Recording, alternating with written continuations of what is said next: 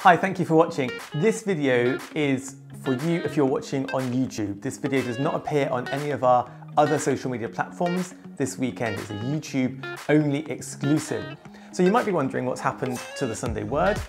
Well, we decided now that we've reopened Mass, the Sunday Word is going to take a break because the Sunday Word was basically the sermon, the homily that I would preach in Mass on a Sunday, but online because we couldn't get to Mass. So now Mass is resumed.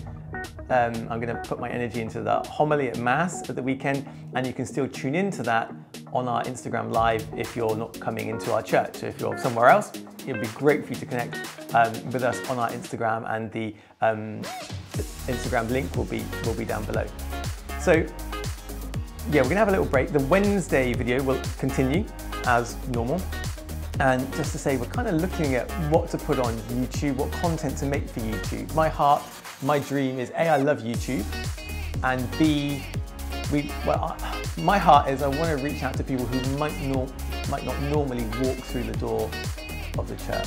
That's, that's my dream, that's on my heart. So just um, we're gonna have a little break just to kind of ponder and reflect on what God's calling us to do, uh, what content to make for what platform.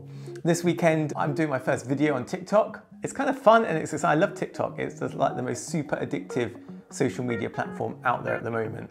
And um, I'm just super excited to get on TikTok. Um, so we're gonna see what content we make for TikTok and really what content to continue to make for YouTube. So thank you so much for your support. Thank you so much for subscribing to us. Um, it means so much and you know we are not going anywhere.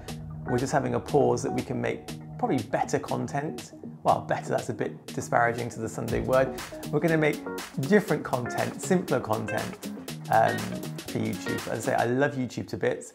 Thank you for your support over the time of lockdown and watch this space. Something will be appearing here soon. Thank you for watching and have a great day.